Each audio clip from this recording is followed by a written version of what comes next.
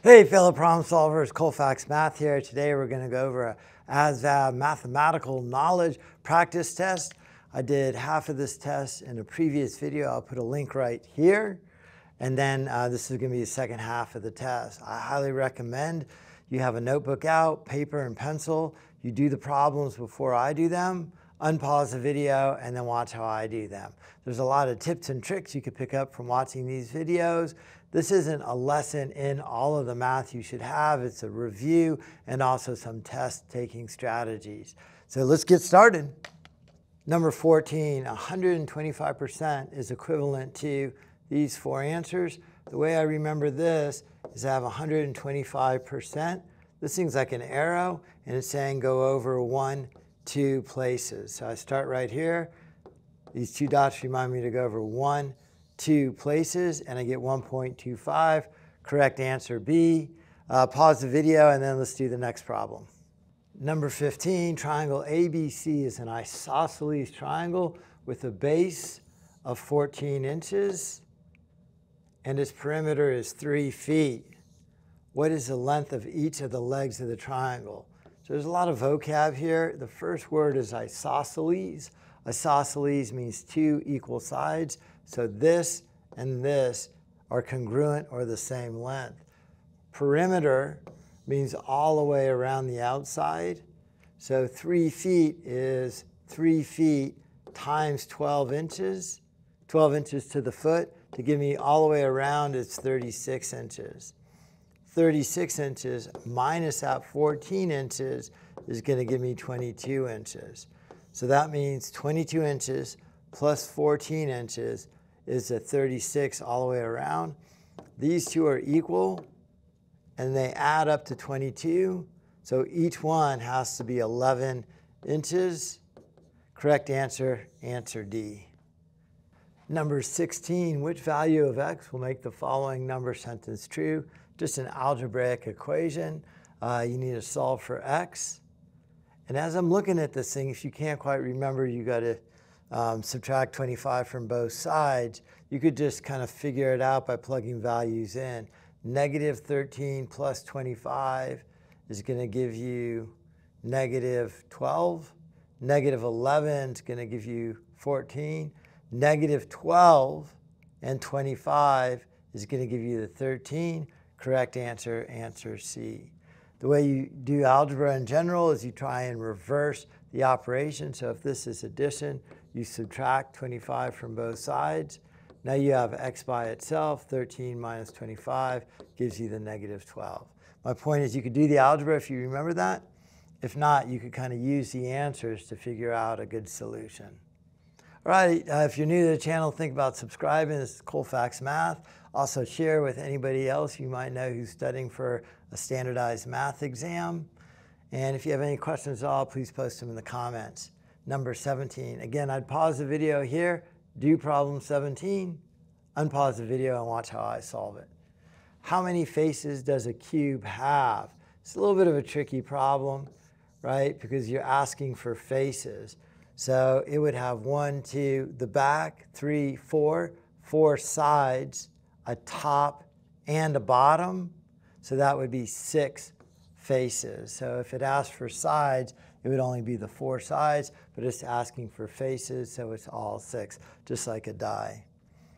Number 18, what is the length of a rectangle? So what is the length of a rectangle when the width is 9 and its area is 117? So just kind of converting that sentence to a picture is a big help. I have a rectangle.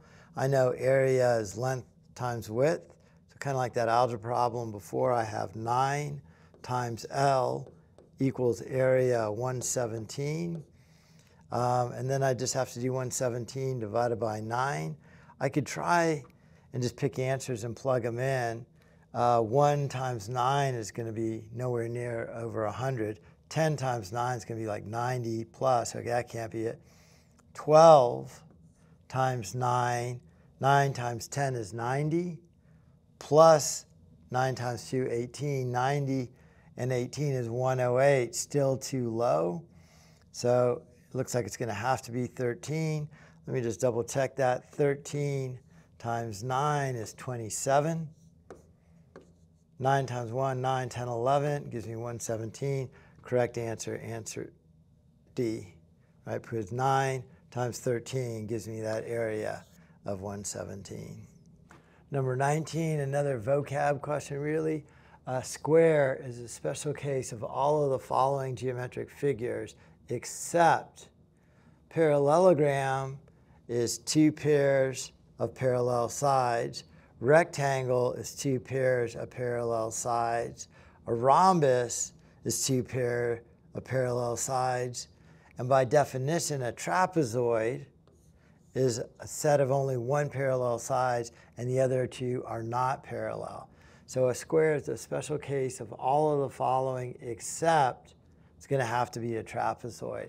So it's a hard problem because you got to know what all of these words mean and you got to kind of differentiate. But you could see that these three all have the similarity of parallel sides. So the trapezoid's the odd one out. Uh, and that's why it's what the square is not. Number 20, what is the value of x in the figure below? This thing, this little box here is telling us 90 degrees, so it's a right triangle. In a right triangle, I know that one leg squared plus the other leg squared is equal to the hypotenuse squared. It's called the Pythagorean theorem. I need to have two of these three variables, and I do. I have the one, I don't have this side, and I have the hypotenuse. So I have 1 squared plus the other leg squared equals hypotenuse squared. Looks kind of hard, but a square and a square root kind of cancel each other out, so that's just going to be 10. 1 times 1 is 1, I have 1 plus x squared equals 10. I subtract 1 from both sides, and I get x squared is equal to 9. Square root of both sides.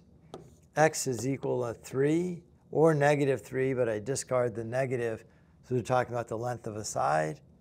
Correct answer, answer B right here.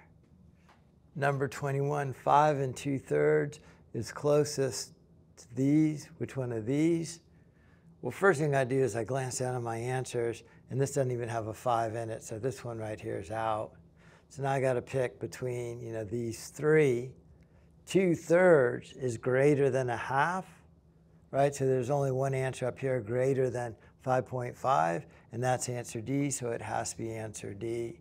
If you wanted to multiply it all the way out, you'd have that 5 and the 2 thirds. The way I think of these fractions is they fall over that away. So 3 would have to go into 2. It doesn't go into 2, so I got to put a decimal point. 3 goes into 26 times. There's a decimal right there. 3 times 6 gives me the 18. 2, bring down the 0, goes in there 6 times. 18, bring down the 2. 18, right? So it's going to keep going 0.666, and you're going to round that up to 0.67. You could do all that division, or you could just look at your answers and pick the best choice, and you could more quickly get right to answer D. Okay, number 22 in the figure below is a regular decagon with a center at Q, what is the measure of the indicated angle? So I got to highlight that angle there.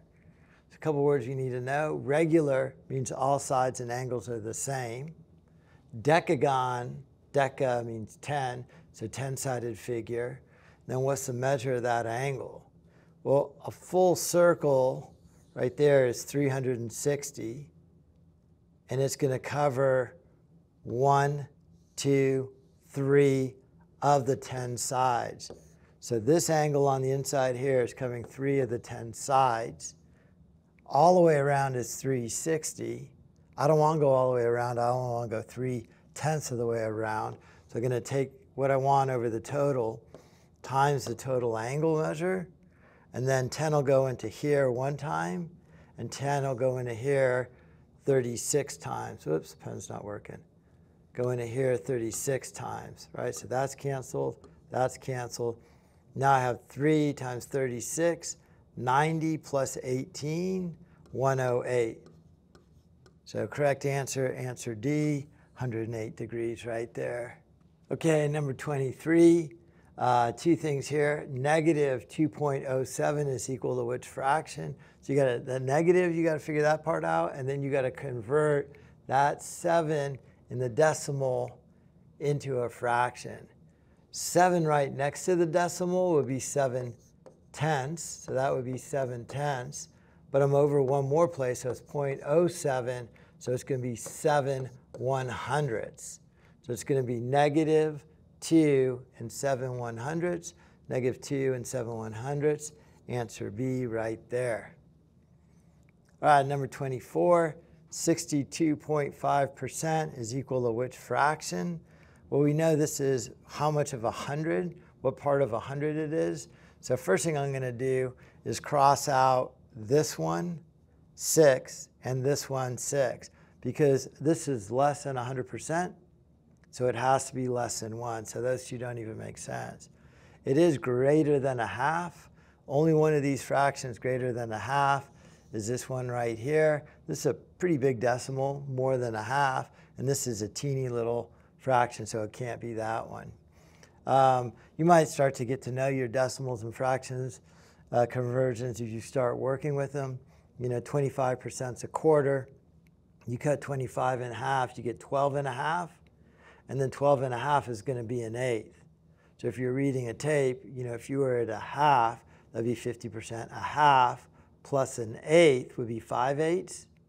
And then remember that eighth is 0.125. So 50 plus 0.125 will give you that 5 eighths as well. But again, you could answer that problem through a process of elimination and some really just good basic thinking.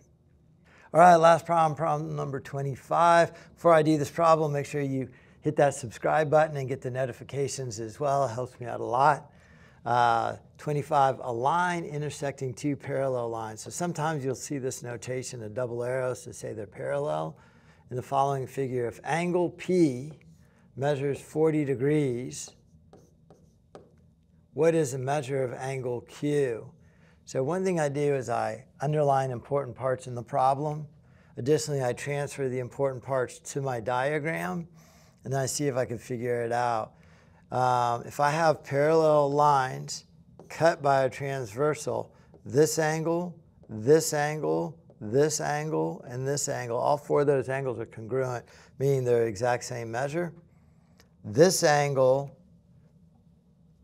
and this angle right here form a linear pair, meaning they add up to 180.